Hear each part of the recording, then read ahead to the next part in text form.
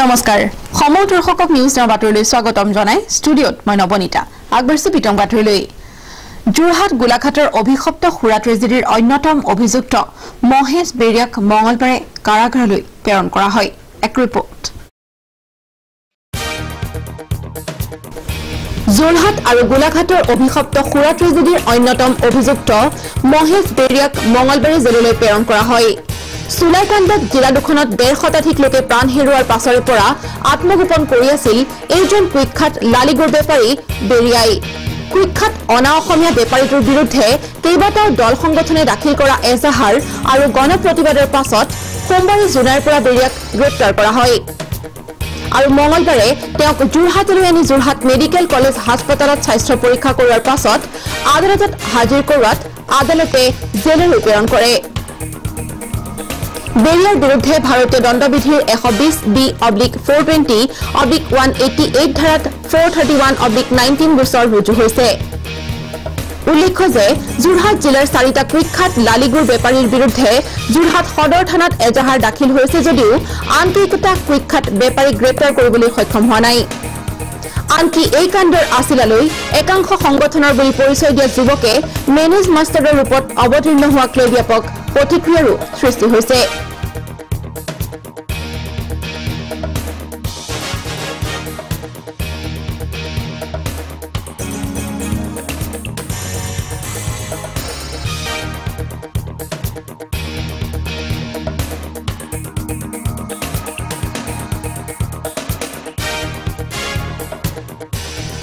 শ্ৰীমন্ত মাধৱ বৰুৱাৰ report News Now twenty four into seven Jorhat.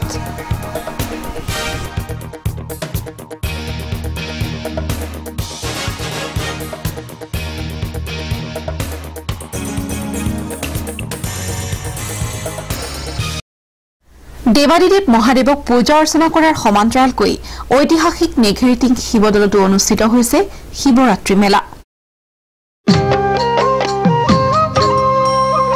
ভক্তিৰসৰ মহাপ্লাৱন সৃষ্টি কৰি সমগ্ৰ ৰাজ্যখনৰ লগতে ডেৰগাঁৱৰ ঐতিহাসিক নেঘেৰিটিঙৰ শৈৱদৌলত সোমবাৰৰ পৰা আৰম্ভ হল মহাশিৱৰাত্ৰি মেলা।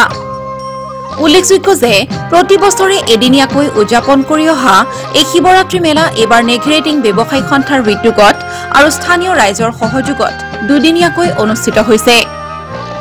প্ৰণিধানযোগ্য যে ছশ বছৰীয়া আহোম ৰাজত্বকালৰ অন্যতম চানিকী তথা সোতৰশ পঁয়ষষ্ঠি চনত স্বৰ্গদেউ ৰাজেশ্বৰ সিংহই নেঘেৰী টিঙত স্থাপন কৰা ডেৰগাঁৱৰ ঐতিহাসিক শিৱদৌললৈ অসমৰ বিভিন্ন প্ৰান্তৰ পৰা হাজাৰ হাজাৰ লোক সমাগম হোৱা পৰিলক্ষিত হৈছে।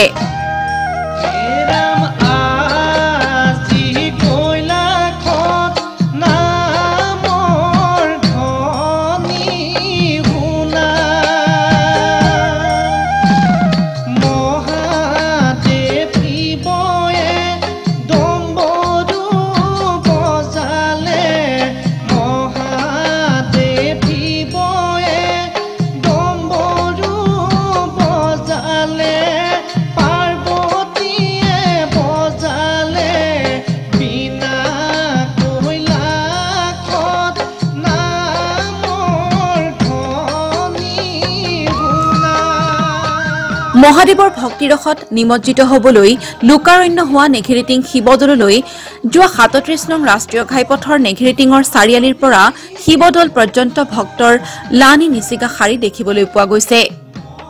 চাহ বাগিচাৰ চিৰসেউজীয়া পৰিৱেশত থকা শিৱদৌলটোত লোকে লোকাৰণ্য হৈ পৰিছে।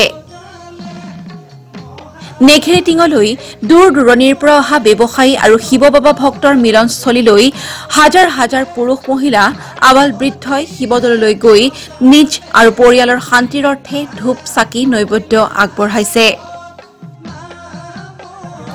খুবেই ভাল লাগিছে। এই নেগেটিং শিৱদৌলটো প্ৰতিষ্ঠিত প্ৰতিষ্ঠা কৰা এটা দৌল। তেতিয়াৰ পৰা ইয়াত মহাশিৱৰাত্ৰি আয়োজন হৈ আছে। আজিও লোকে লোকাৰণ্য হৈছে। প্ৰায় এক লাখ ভক্ত ইয়াত সমাগত হৈছে। বিভিন্ন ঠাইৰ পৰা অসমৰ বিভিন্ন প্ৰান্তৰ পৰা ইয়ালৈ ভক্ত আহিছে। গতিকে ইয়াৰ যি পৰিৱেশ সঁচাকৈ মনোমোহা পৰিৱেশ হৈছে। আৰু ইয়াত এই শিৱৰাত্ৰিৰ লগতে বিভিন্ন অনুষ্ঠান বিভিন্ন ব্যৱসায়িকসমূহ গ- লৈ উঠিছে। গঢ় লৈ উঠিছে ব্যৱসায়িকসমূহে ইয়াৰ জৰিয়তে বিভিন্ন প্ৰান্তৰ পৰা আহি ইয়াত নিজৰ নিজৰ স্বাৱলম্বিতা প্ৰকাশ পাইছে তেওঁলোকৰ কৰ্মৰাজি প্ৰকাশ পাইছে। আৰু লগতে এই নেগেটিভ শিৱদৌললৈ অহা যিটো পথ আমাৰ এই পথটো বৰ জৰাজীৰ্ণ অৱস্থা। এইখন এই বিজেপি গভমেণ্টে এই পথটোৰ প্ৰতি অকণমান নজৰ ৰাখিব লাগে আৰু নেগেটিভ এই শিৱদৌল ভাগি পৰ্যটন পৰ্যটনস্থলীলৈ ৰূপান্তৰ কৰিব লাগে। আমাৰ ফালৰ পৰা এইটো অনুৰোধ থাকিলে।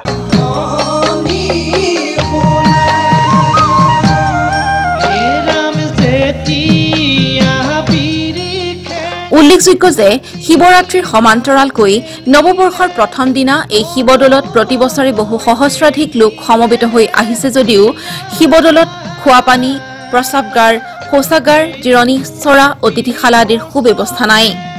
ইয়াৰ উপৰি বিগত কংগ্ৰেছ চৰকাৰৰ দিনতেই নিৰ্মাণ কৰা ৰাষ্ট্ৰীয় ঘাইপথৰ পৰা শিৱদৌলৰ সন্মুখলৈ পথটি মেৰামতিৰ অভাৱত পথৰ মাজত পকী অংশসমূহ ভাগি পুখুৰী সদৃশ গাঁতৰ সৃষ্টি হোৱাত পথাচাৰী তথা ভক্তসকলে নানা সমস্যাৰ সন্মুখীন হৈ আহিছে। এই ক্ষেত্ৰত বৰ্তমান চৰকাৰখনে কোনো গুৰুত্ব নিদিয়াত সচেতন ৰাইজে উদ্বিগ্নতা প্ৰকাশ কৰাৰ লগতে বৃহত্তৰ অসমীয়া যুৱ মঞ্চৰ কেন্দ্ৰীয় সাংস্কৃতিক সম্পাদক সত্যজিৎ হাজৰিকাই এই সমস্যাসমূহ সমাধান কৰিবৰ বাবে চৰকাৰক দাবী জনাইছে। দেৰগাঁও নেগেটিভ শিৱদৌল এইটো ইতিহাসে গঢ়কা এটা দৌল। এইটো স্বৰ্গীয় ৰাজস্ব সংঘই নিৰ্মাণ কৰিছিল। আমি ভাবিছিলোঁ যে কংগ্ৰেছ চৰকাৰ আছিল এ জি পি চৰকাৰ আছিল আৰু বিজেপি চৰকাৰ আহিলে। আমি ভাবিছিলোঁ যে এই দৌলটো পৰ্যটনথলীলৈ চৰকাৰসমূহে গঢ়ি তুলিব। কিন্তু আজি পৰ্যন্ত পৰ্যটনলৈ গঢ়ি তুলিব পৰা নাই। আৰু তাতকৈ দুৰ্ভাগ্যজনক বিষয় যে ইয়ালৈ অহা যিটো পথ সেইটো পথটো জৰাজীৰ্ণ অৱস্থা। এটা দেৰগাঁৱৰ এটা মুখ্য এইটো অনুষ্ঠান। যিটো অনুষ্ঠান ৰজাৰ দিনৰ ইতিহাসে গৰকা অনুষ্ঠান। এই অনুষ্ঠানটোলৈ অহালৈ অহা পথটোৱেই দুৰ্ভাগ্যজনক। আজি যিখন ভক্ত আহিছে বোকা খচকি আহিবলগীয়া হৈছে। ইয়াৰ পথটো ঠায়ে ঠায়ে খাল ঠায়ে ঠায়ে মাটি আছে তাত পানী আছে। এইখন চৰকাৰে যদি এনেকুৱা অনুষ্ঠানবিলাক পৰ্যটকলৈ গঢ়ি নোতোলে দুৰ্ভাগ্যজনক আৰু বৃহত্তৰ অসমীয়া যুৱ মঞ্চৰ তৰফৰ পৰা চৰকাৰলৈ আহ্বান জনাওঁ দেৰগাঁৱৰ শিৱদৌলটো পৰ্যটকস্থলীলৈ গঢ়ি তোলে।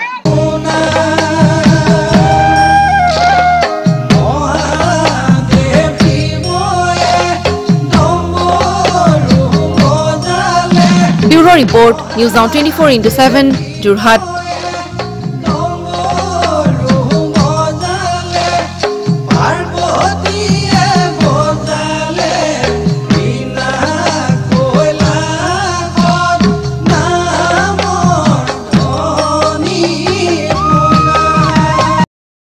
Jorhat জিলাৰ উপায়ুক্ত ৰশ্মি অপৰাঞ্চি কৰাটীৰ সংবাদমেল বিষয় লোকসভা নিৰ্বাচন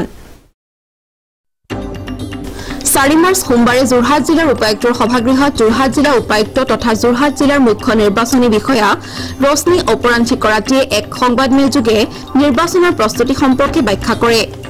উপায়ুক্তগৰাকীয়ে সদৰি কৰে যে এঘাৰ নং কলিয়াবৰ লোকসভা সমষ্টিৰ অন্তৰ্গত সাতানব্বৈ নং ডেৰগাঁও বিধানসভা বাৰ নং যোৰহাট লোকসভা সমষ্টিৰ অন্তৰ্গত আঠানব্বৈ নং যোৰহাট বিধানসভা সমষ্টিক লৈ যোৰহাট নিৰ্বাচন জিলা গঠিত হৈছে। মুঠ চাৰি লাখ এষষ্ঠি হাজাৰ তিনিশ তেইছজন ভোটাৰক লৈ গঠিত এই নিৰ্বাচন জিলাত যাতে নিৰ্বাচন প্ৰক্ৰিয়া সুকলমে সম্পন্ন হয় তাৰ বাবে জিলা প্ৰশাসনে সৰ্বোচ্চ প্ৰচেষ্টা আৰম্ভ কৰিছে। উপায়ুক্তগৰাকীয়ে কয় যে এইবাৰ সকলো ভোটগ্ৰহণ কেন্দ্ৰই ভি ভি পেট ব্যৱহাৰ কৰিব আৰু এই ভি ভি পেটৰ জৰিয়তে ভোটদাতাজনে কাক ভোটদান কৰিলে সেইটো ভি ভি পেটত জিলিকি উঠিব আৰু সাত ছেকেণ্ডৰ ভিতৰত ভোটদাতাজনে চাই তেওঁ যে শুদ্ধভাৱে ভোটদান কৰিছে সেইটো নিশ্চিত হ'ব পাৰিব বুলি জনায়। উল্লেখযোগ্য যে এইবাৰ পূৰ্বৰ দৰে ভোটগ্ৰহণ কেন্দ্ৰসমূহ স্পৰ্শকাতৰ আৰু অতি স্পৰ্শকাতৰ হিচাপে বিভক্ত কৰা নহয়। তাৰ পৰিৱৰ্তে ক্ৰিটিকেল আৰু ভালনাৰেবল এই দুভাগত বিভক্ত কৰা হ'ব। ক্ৰিটিকেল সমষ্টিসমূহ হ'ব দূৰৱৰ্তী অঞ্চল যোগাযোগহীন অঞ্চল আৰু পূৰ্বতে হিংসাত্মক ঘটনা সংঘটিত হোৱা ভোটগ্ৰহণ কেন্দ্ৰ আদি। অন্যহাতে ভালনাৰেবল কেন্দ্ৰসমূহ সেইবোৰ হ'ব য'ত কোনো সম্প্ৰদায়ৰ কম সংখ্যক লোকক আন সম্প্ৰদায়ৰ বৃহৎ সংখ্যক লোকে ভোটদানৰ ক্ষেত্ৰত ভাবুকি প্ৰদানেৰে প্ৰভাৱিত কৰাৰ সম্ভাৱনা আছে বা সাম্প্ৰদায়িক উত্তেজনা সৃষ্টিৰ সম্ভাৱনা আছে তেনে কেন্দ্ৰক ভালনাৰেবল ভোটগ্ৰহণ কেন্দ্ৰ হিচাপে গণ্য কৰা হ'ব। তেনে কেন্দ্ৰসমূহত নিৰাপত্তা আৰু যোগাযোগৰ ব্যৱস্থা উন্নত কৰা হ'ব বুলি জানিবলৈ দিয়ে। সংবাদমেলখনত উপায়ুক্তগৰাকীয়ে সাংবাদিকসকলক ভি ভি পেটৰ ব্যৱস্থাৰ সম্পৰ্কেও অৱগত কৰায়। জিলা প্ৰশাসন হিচাপে লোকসভা ইলেকশ্যন নটিফিকেশ্যনৰ কাৰণে আমি সাজু আছোঁ যাতে আমি ফ্ৰী এণ্ড ফেয়াৰ পলছ যাতে আমি তিনিখন এল আই চিছ আছে যোৰহাট ইলেকশ্যন ডিষ্ট্ৰিক্টত তিনিখন এল আই চিছ আমি ফ্ৰী এণ্ড ফেয়াৰ ইলেকশ্যনছ আমি চলাব পাৰোঁ বুলি আমাৰ হেৰি আছে গোটেই জ'নেল এণ্ড ছেক্টৰ অফিচাৰ্ছৰ নটিফিকেশ্যন কৰা হৈছে তেওঁলোকে ভালকৈ প্ৰত্যেক এটা পলিং ষ্টেচনত গৈ তাত যি এশ্যুৰ্ড মিনিমাম ফেচিলিটিজ আছে য'ত ৰেম্প আছে কি নাই টয়লেট আছে কি নাই ড্ৰিংকিং ড্ৰিংকিং ৱাটাৰ আছে কি নাই ফাৰ্নিচাৰ আছে কি নাই ছেপাৰেট এণ্ট্ৰি এক্সিট আছে কি নাই এই ক্ষেত্ৰতো যি ৰুট মেপ থাকিব আৰু যি যদি পলিং ষ্টেচনটো ক্ৰিটিকেল হৈছে কি নাই এই ক্ষেত্ৰত তেওঁলোকে they are on the field আৰু এইবাৰ যিহেতু তিনিখন প্ৰত্যেক এটা এল এ চিত প্ৰত্যেক এটা এটা পলিং ষ্টেচনত ভি ভি পেটটো ইউজ কৰা হ'ব চবতে কৰিব every polling station will be having a V V PAT machine এই ক্ষেত্ৰ এই কাৰণে আমি প্ৰত্যেক আমি বহুত দহখন টিমছ আমি ফৰ্ম কৰিছোঁ যাতে পাব্লিকে গম পায়। ভি ভি পেটটো এভিয়েশ্যন কি হয়? V V PAT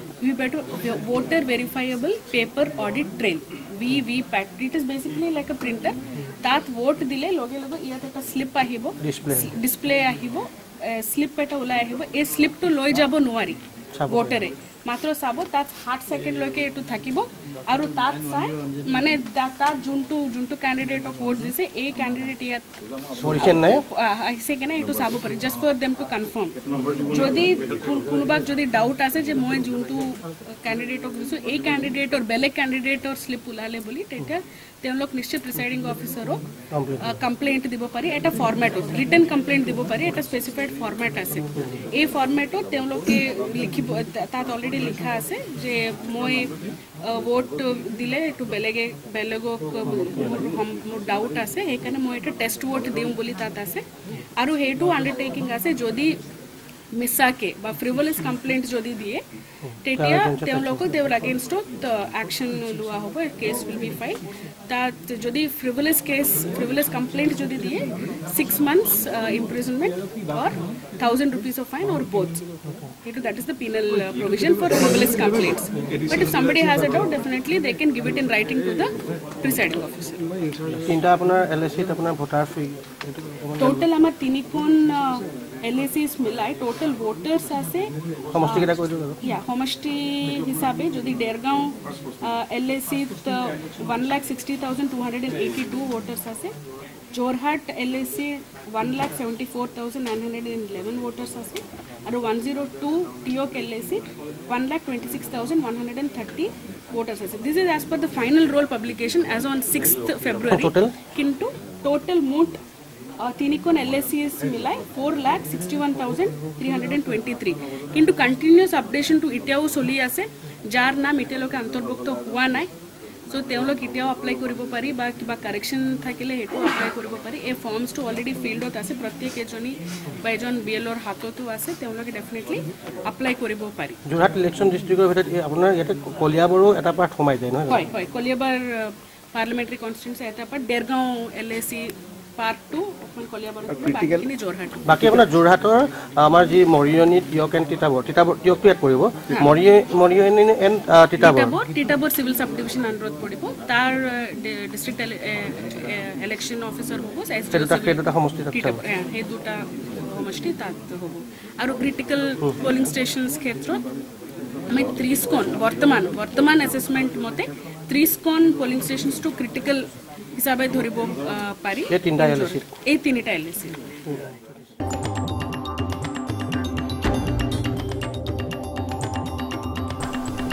Srimanta Madhab বৰুৱাৰ report News Now twenty four into seven Jorhat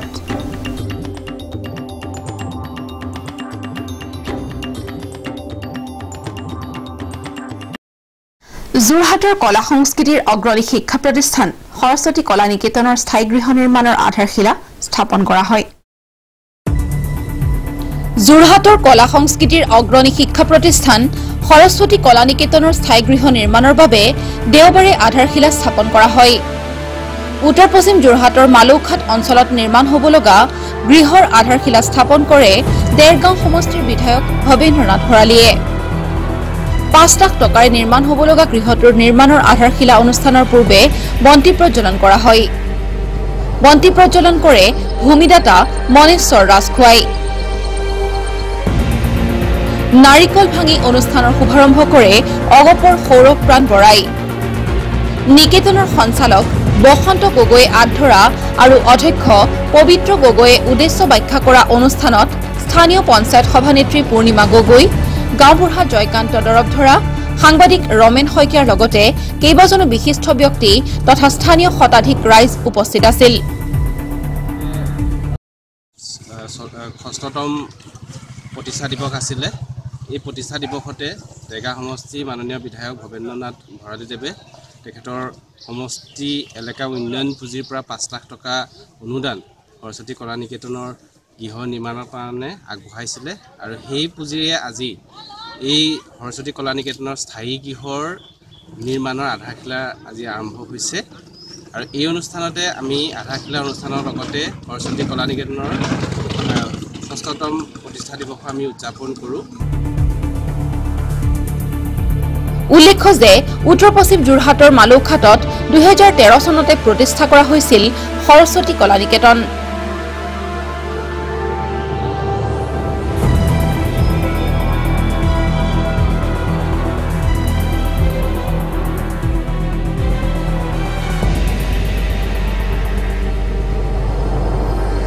প্ৰশান্ত গায়নৰ report News Now twenty four into seven Jorhat.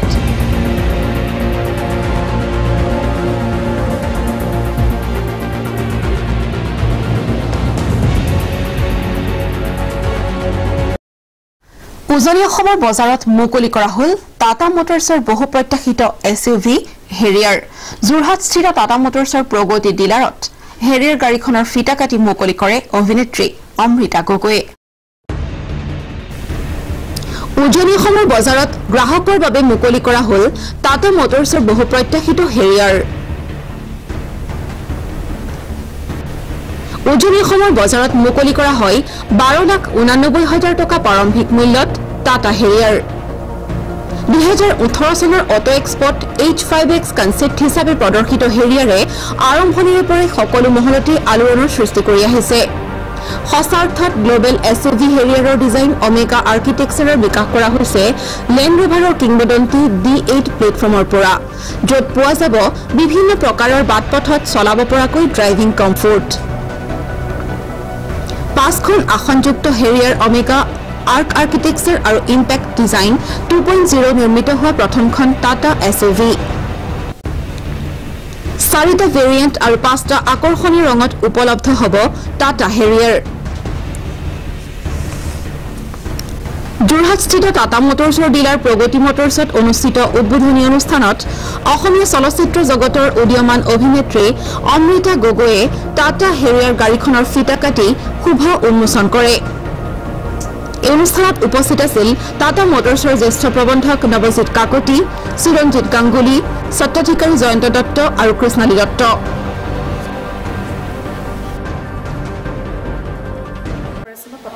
হৈছে আৰু এইটো এইটো ছেগমেণ্টত একচুৱেলি টাটা মটৰ্ছৰ গাড়ী আগতে নাছিল। টাটা মটৰ্ছে নতুন এটা ৰিভলিউশ্যন আনিবৰ কাৰণে এইখিনি গাড়ী আনিছে। আৰু এইটো লেণ্ড লেণ্ড ৰোভাৰ প্লেটফৰ্মত বনোৱা হৈছে। নতুন নতুন ধৰণৰ প্লেটফৰ্মত বনিছে। তাৰ উপৰি ইয়াত ছেফটি পাৰ্টটো বহুত ধৰণে চোৱা হৈছে। তাৰ চবচে বেছিক পাৰ্টটো হৈছে ইয়াত এই ছেগমেণ্টত এইটো ৰেঞ্জত গাড়ী নাই। টুৱেল্ভ পইণ্ট এইট টু বেছি বেছ মডেলৰ পৰা গাড়ী ইয়াত নাছিল মানে। এই ছেগমেণ্টত এটা ডাঙৰ ৰেভলিউশ্যন আনিব বুলি আমি ভাবিছোঁ। আৰু এতিয়া ৰোড কণ্ডিশ্যন যেনেকুৱা হৈছে অসমৰ যিটো হেৰি হৈছে এইটো চিনেৰিয়ত এই এছ ইউ ভিখিনি বহুত মাইলেজ ল'ব আমাৰ ইয়াতে। আৰু কাষ্টমাৰ ৰেচপন্স খুবেই ভাল। কাষ্টমাৰে বহুত ভালকৈ ৰেচপন্স কৰিছে। আৰু এতিয়ালৈকে আমি অসমৰ ৰাইজক বিশেষকৈ যোৰহাটবাসী ৰাইজক সদায় এটা ভাল ডেলিভাৰী দিবলৈ চেষ্টা কৰিছোঁ ভাল ছাৰ্ভিচ ভাল এটা ভাল কমফৰ্ট দিবলৈ চেষ্টা কৰিছিলোঁ। মই ভাবোঁ এই নতুন গাড়ীখনে আৰু ভাল কিবা এটা কৰিব মানে আৰু। মই আছোঁ যোৰহাট প্ৰগতি টাটা মটৰ্ছত আৰু আজি ইয়াত আনবিল কৰা হ'ল নৰ্থ ইষ্টৰ কাষ্টমাৰসকলৰ বাবে টাটা হেৰিয়াৰ। টাটা হেৰিয়াৰ অলৰেডি ইণ্ডিয়াৰ বেলেগ পাৰ্টত উপলব্ধ হৈছিল যদিও আপাৰ আছাম আৰু নৰ্থ ইষ্টৰ কাষ্টমাৰৰ বাবে এভেইলেবল হোৱা নাছিল। বহুত মই নিজে কাৰ লাভাৰ বিশেষকৈ মই এছ ইউ ভি লাভাৰ গতিকে this is an honour this is an privilege to be a part of the event আৰু গাড়ীখন জাষ্ট চাই আহিছোঁ গতিকে অকণমান সময়লৈ মই এতিয়া গাড়ীখনৰ কথাই চিন্তা কৰি থাকিম যিহেতু গাড়ী ভাল পোৱা মানুহক যেতিয়া গাড়ী দেখাই দিয়া হয় সেই বস্তুটো মূৰত ঘূৰি থাকে। গাড়ীখনৰ জাষ্ট আমাক যেতিয়া ফিচাৰ্ছখিনি ডেছক্ৰাইব কৰা হৈছিল সঁচাকৈ খুব ধুনীয়া ফিচাৰ্ছ বিশেষকৈ ছেফটিৰ যিখিনি ৰোড ছেফটিৰ ওপৰত তেওঁলোকে পেচেঞ্জাৰৰ ছেফটিৰ কাৰণে যিখিনি আমাক জাষ্ট ডেছক্ৰাইব কৰিছে এই গোটেইখিনি মই আশা কৰোঁ যে টাটা হেৰিয়াৰ যিসকলে নতুন গাড়ী ল'ব বিচাৰিছে যিসকলে এ চি ভি ভাল পায় তেওঁলোকে টাটা হেৰিয়াৰৰ কথা এবাৰ চিন্তা কৰি চাব পাৰে। বাকী মই প্ৰগতি মটৰ্ছক আহ, ধন্যবাদ জ্ঞাপন কৰিব লাগিব। For giving me the opportunity to be a part of the great event and thank you so much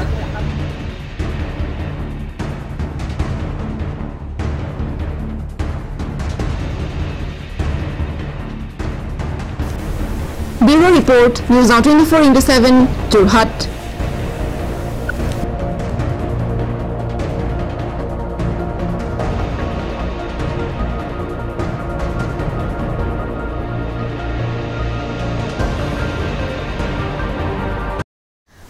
Mahashivratri উপলক্ষে গড়মূৰ শিৱ মন্দিৰ প্ৰাংগণত অনুষ্ঠিত হোৱা ভাওনাই মন মুহিলে অগণন দৰ্শকৰ। এক ৰিপৰ্ট। চাৰি মাৰ্চ সোমবাৰে যোৰহাটৰ গড়মূৰস্থিত শিৱ মন্দিৰ প্ৰাংগণত গড়মূৰবাসী ৰাইজে আয়োজন কৰিলে এখনি মহাপুৰুষীয়া ভাওনা। মহাশিৱৰাত্ৰি উপলক্ষে আয়োজন কৰা দক্ষযজ্ঞ ও সতীৰ প্ৰাণত্যাগ নামৰ ভাওনাখনিয়ে সমগ্ৰ গড়মূৰবাসী ৰাইজৰ মন মুগ্ধ কৰিবলৈ সক্ষম হ'ল। প্ৰতিকূল বতৰকো নেওচি অগণন দৰ্শকে উপভোগ কৰিলে ভাওনাখনি।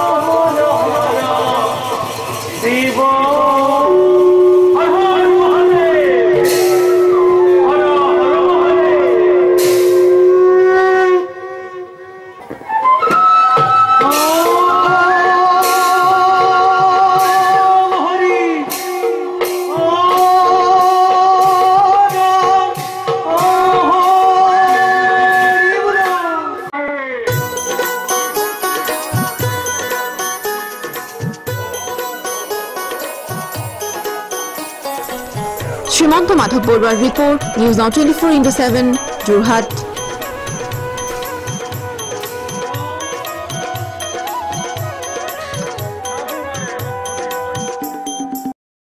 বাতৰিৰ শেষত এতিয়া আহিছো আজিৰ দিনটোৰ বতৰৰ বতৰালৈ।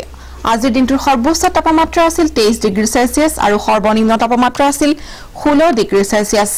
ইয়াৰ লগতে অহা চৌবিছ ঘণ্টাত বতৰ ডাৱৰীয়া হৈ থাকি কোনো কোনো অঞ্চলত বৰষুণ হোৱাৰ সম্ভাৱনা আছে। আজিলৈ বাতৰিত ইমানেই। ইয়াৰ লগে লগে ষ্টুডিঅ'ৰ মজিয়াৰ পৰা মই নৱনীতাই বিদায় লৈছো।